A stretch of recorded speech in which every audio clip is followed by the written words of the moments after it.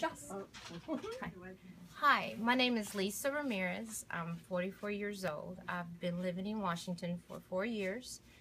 Out of the three and a half years of that four years, I was in a domestic violence relationship.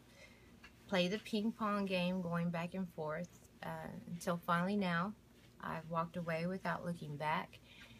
And a friend introduced me here to Esther's Place and the peace and the warmth that I felt when I came through that door, through the threshold, is amazing. I cannot explain to you. You would have to come here to realize it. But the tears I cried were from being hurt, but they were also tears from joy to be able to meet women, women, ladies that can actually empathize with you and understand and will go through great lengths to help you.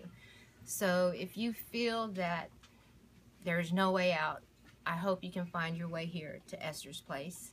I don't know the specific address, but I promise you they will help you go forward. Please do not go back. I beg that you not go back, but I have made those mistakes.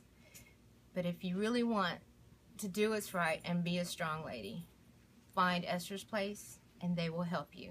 I want to say thank you to all the women once again, and I can never stop saying thank you to the directors, the advocates, the women that I've met here. Thank you for all the support and the support you continue to give me as I drop in to continue saying thank you.